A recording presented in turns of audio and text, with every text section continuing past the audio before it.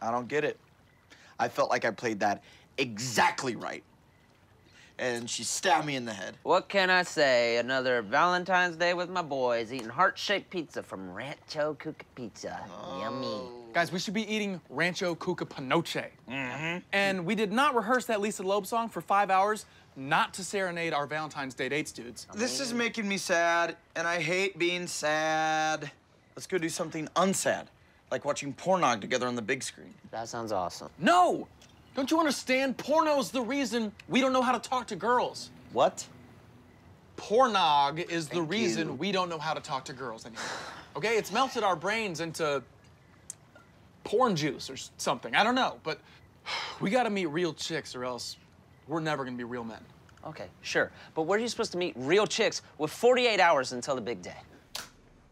Realchickschat.com. Webcam girls. Come on, this is pornog, right? Mm-hmm. I'm sorry. These are real girls that happen to be online, right? Looking for real guys like us in the real world. Yeah, the real chicks, they're just sitting there. They're, sometimes they're eating food, sometimes they're masturbating.